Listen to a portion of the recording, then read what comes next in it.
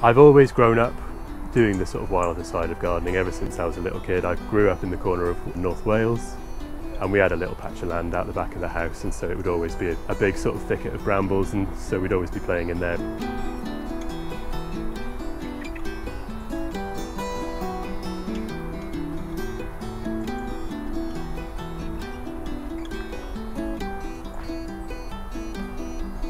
Sort of the older I get and the more, you know, the more we start to hear all the troubles that nature has got at the minute and the sort of declines in nature and stuff, it's it's nice having a way of doing something about it, even if only at a sort of very local level.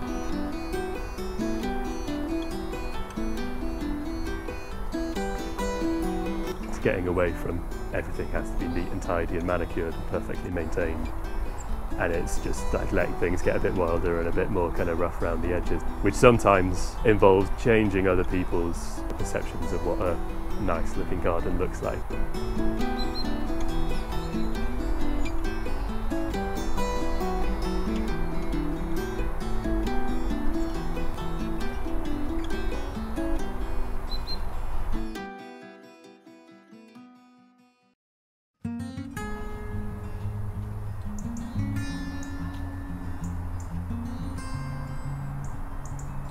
Quite often you start the day with an idea of what you'd like to do today and then things go in a completely different direction.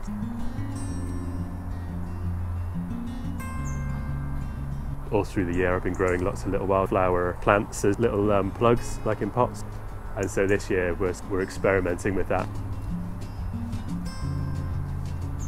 luckily, the more that the university is kind of prioritising biodiversity on campus, I think we're almost getting more of a push to get these jobs done. So that means that we can now start to allot time to them rather than, you know, like when I first started, we would squeeze the wildlife jobs in around the workload that we had to do, which was more keeping campus looking pretty.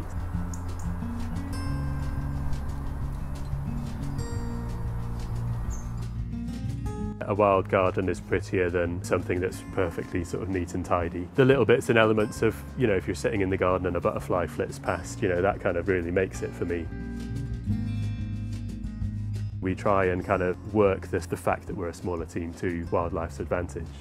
That can be challenging at this time of the year. There's a lot of work to be done managing wild areas. You know, when the grass is cut and it all needs raking, it's many hands that are needed. So then being a small team can be quite challenging.